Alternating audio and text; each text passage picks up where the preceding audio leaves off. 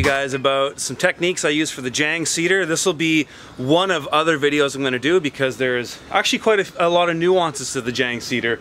But I'm going to be planting a bed that is um, an unusual bed than what I normally plant. It's a two foot wide bed. Normally I'm doing a 30 inch bed. And so there's some slight nuances to how that crop gets planted. I'm going to be planting two different greens in the same bed. Let's get into it. All right, so this bed was just covered up with landscape fabric and it was left unplanted when we transplanted all this lettuce. So we ran out of lettuce and had 25 feet of bed left over. it sat there empty for a while. A bunch of weeds germinated on it.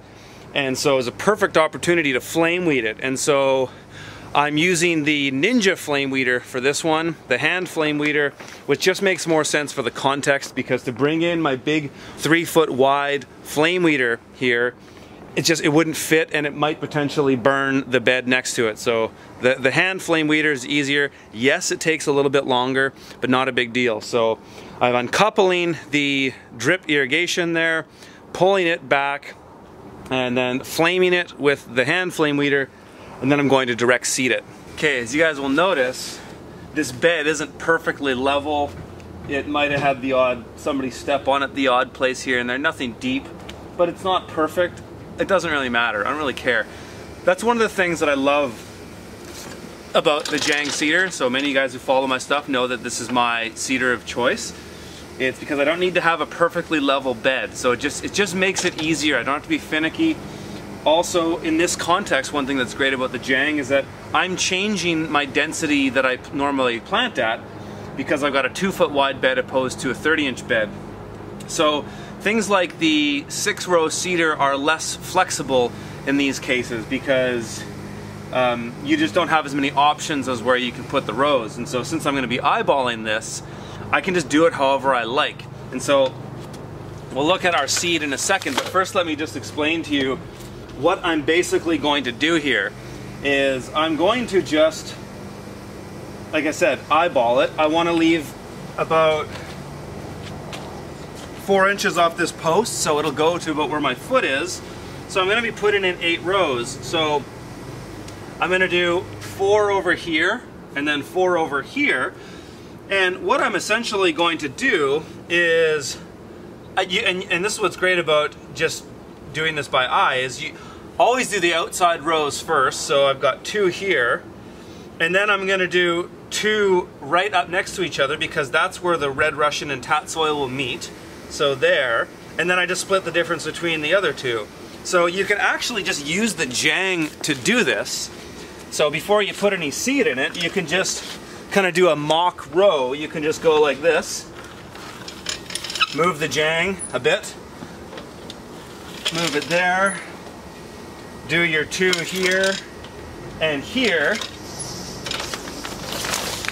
And then you get sort of an imprint of what you're gonna need. So I'm just gonna eyeball it and you'll kind of see how it plays out. Now as for the seed that I'm using, I'm going to be using, I get these ones from William Dam, so irrelevant to you Americans, but uh, for Canadians, I get a lot of my seed from William Dam Seeds, so I've got my Tatsoi, one pound bag, 450 gram bag. Tatsoi and Red Russian are about the same size seeds.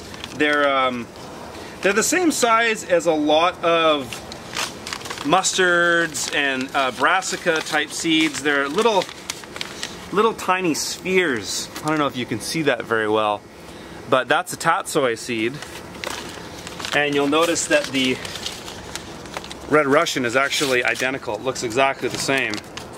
The, the, they're the same size, so you can actually use the uh, the same roller on the Jang as you do uh, for the Tatsoi and mustard, so or Tatsoi and Red Russian. So you can see there, little balls. So there's two rollers. You there's two rollers you can use. The F24 is what I use the most, and so these rollers have little depressions in them and the, that the F represents the size of the hole. I don't know what F means as far as the, the physical size, how many millimeters it is, but it represents the size. And then the 24 represents the amount of holes in the roll. So there's 24 holes in that roller. The F24 is what I use the most most of the time. The X24 is a very similar one. It just has a smaller hole. So either work. Uh, in this case, I'm going to go with the F24 because I want to put a bit more seed down, but the X24 does work. Sometimes, um, if I want to get a wider density, I might do the X24. A reason for that might be in the summer when things grow really quickly, I might want to have a slightly wider density to, so that the crops don't choke each other out as much. However, most of the time I'd use an F24. I've just I've used the X24 before and I've measured the differences in yield and they're almost they're almost not noticeable. So in this case, I'm going to use the F24. Now my thinking with planting this crop is I'm going to do the Red Russian first and I'm going to plant the Red Russian closer to the posts and the tatsoi further away. This is not something that is really that important, but it's a little nitpicky thing that I know from harvesting these crops over the years will make it easier to have the Red Russian over on this side because it's a taller crop and I'll be able to cut it away from the bed easier, whereas the tatsoi is a crop that's lower to the ground and I like to be able to get closer to that and I'm always going to be, I'm not really going to be standing in that walkway ever.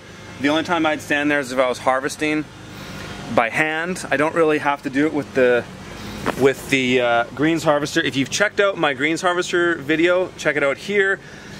I have different ways I can do it and a lot of the time in cases like this, I won't straddle the bed to harvest like this. I'll just stand from one aisle and uh, just tiptoe to harvest. So with the taller crop over on the left, I can reach that easier and then the shorter crop over on the uh, my right, closer to me, it'll be easier to navigate with the, with the greens harvester getting lower to the ground.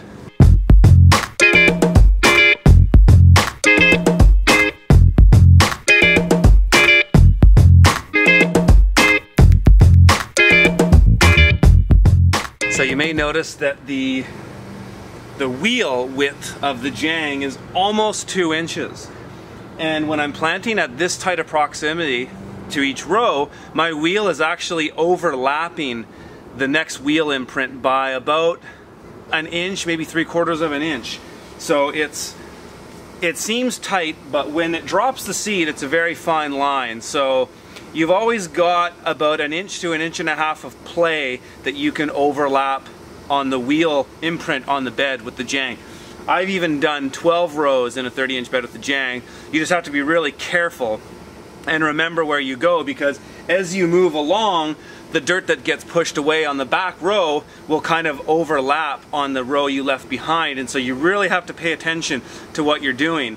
That's why in most cases I always do a, a, a split in the difference so I'll plant if it's a 30 inch bed and I'm doing an odd number of rows I always start with the outside and then do the middle to get three and then split the difference again to get five and then split the difference again to get nine. I usually find that doing odd numbers of rows works best with the Jang. In this case, that's not what I'm doing. I'm doing half the side bed of the bed first by going one and four and then splitting the difference between those two and then doing that, repeating that again. So that is my Red Russian. Now I'll do the exact same thing with the Tatsoi on this side of the bed.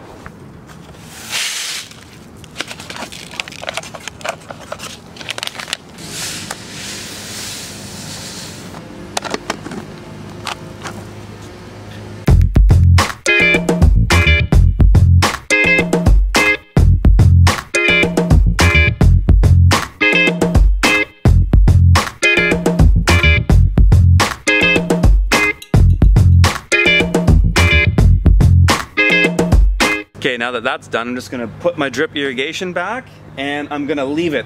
If we get really sunny weather for the next week and this soil starts to look dry, I might just hand water this bed. I probably won't bother running the irrigation because all the beds that are covered in fabric are gonna stay dry. They're not gonna evaporate as quick as this one is, so I might hand water it later. But I'm just gonna pull this irrigation back and then I'm done. Alright guys, if you have found that helpful, please hit the subscribe button right now. Like and share these videos with your friends. And check out my content at theurbanfarmer.co. You've got a link to my online course on there. You can take my one-day workshop on there. You can buy my book and a few other things. There's also a thing on my website called Free Extras. It is, it's free, just give me your email address and you can download a bunch of bonus content that is in my book, some extra spreadsheets, and different different stuff that we didn't have room to put in the book. So anybody's free to download that. And if you guys would like to make a donation to the show, it's much appreciated and always welcome. It helps me spend the time to make content like this. I'm trying to make a video a day and I really appreciate those of you that do donate. It's been a huge help. All right, thanks for watching.